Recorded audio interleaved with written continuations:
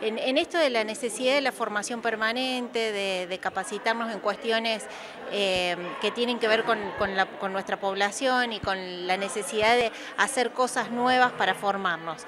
Eh, hicimos un convenio con el Colegio de Trabajadores para que pudieran venir eh, a formarnos en algunas cuestiones, algunas temáticas concretas, como, como tiene que ver esto de políticas que, arranquen en el seno de la de la ciudadanía y bueno, en función de eso vino la gente y fuimos convocando al, resto de la zona porque está destinado específicamente a sectores que trabajan en la parte técnica, ¿no? a trabajadores sociales y bueno, y vinculamos también una parte del proyecto con el sector de la educación media, por eso también hay algunos de los profes de media vinculados con la materia de ciudadanía y participación. Em, pero bueno, es, básicamente tiene que ver con eso, una actividad de capacitación. Eh, ¿Esta es la primera vez que se hace o ya se viene haciendo? como jornada de capacitación, desde que estoy en el espacio, es la primera.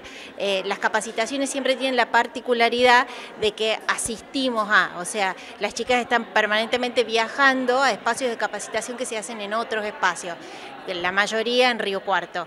Entonces, eh, en, el, en, la localidad específica del área es eh, la primera eh, en este año. pero bueno, hay proyectos de seguir, de poder que sea el, primer eslabón de un, de un, proyecto de capacitaciones y que seamos como núcleos centrando a la zona, ¿no? que, que la zona pueda concurrir con realidades por ahí absolutamente distintas a las, que, a las realidades de una ciudad grande como Río Cuarto o como Córdoba. Bueno, en función de eso es como que empezamos a anclar en el pueblo este tipo de espacios.